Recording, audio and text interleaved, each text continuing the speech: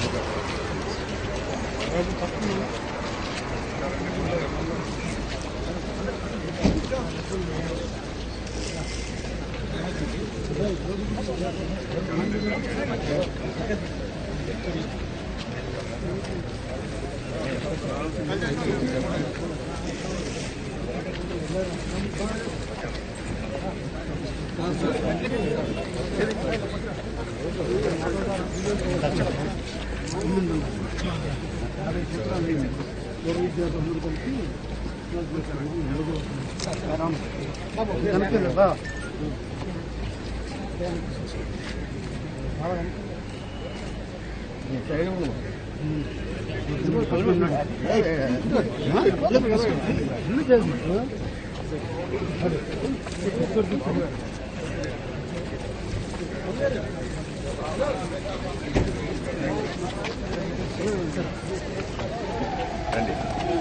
来。